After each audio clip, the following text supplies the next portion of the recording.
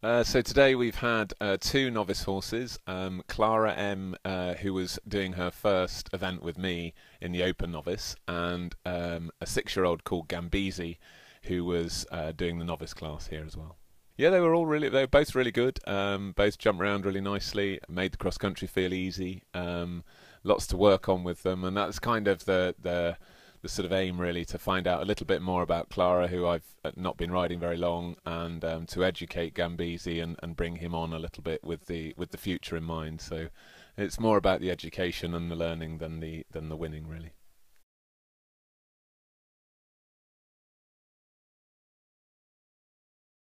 Um, Art's really well. He had to be brought in from the field the other day because he was running around next to a five-year-old and, and misbehaving. So um, he's he's really good. He feels fresh and happy and really well, and um, he's definitely enjoyed his time at badminton and seems to have come out of it really well.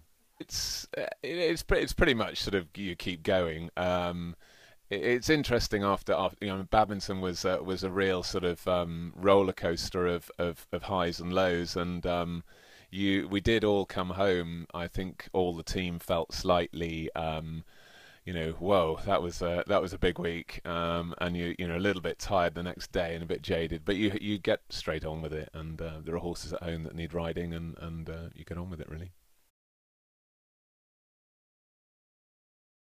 W- without a doubt, I enjoyed watching uh, Tom McEwen and Toledo Toledo de Kerser. Um, um, Tom was it, it, was quite amusing in the collecting ring because he was moaning at me he hadn't gone fast enough and, and so on. But the horse, he's educated it so beautifully. It jumps so beautifully, and it looks confident and happy at the level. And um, he he has to be a huge combination for Great Britain moving forward. So uh, he definitely stood out. And you know, you look at Michael Jung and and the incredible Sam, and um, you know how at 17 um, he he just produces it time and time again. I, I think his record is something ridiculous. I think he's only been first and second in international events in in his career, which is quite amazing. Um, it, it's really it's a really hard moment because you watch we all love Ingrid to bits and, and everybody would have probably been quite happy with Ingrid winning and, and delighted if Ingrid had won. Um, but when she had the the first pole she had down um, the the the moment dawns you know the realization dawns on you that that Andrew has won. Um, a group of us, including Zach, his son, we just sprinted round the back um, to, you know, Townend um, and, and myself and, and Leonard Gorans And, you know, Leonard worked for Andrew, I worked for Andrew, and, and just, you know, it means so, so much. Um, and it was a, a very, very emotional few minutes.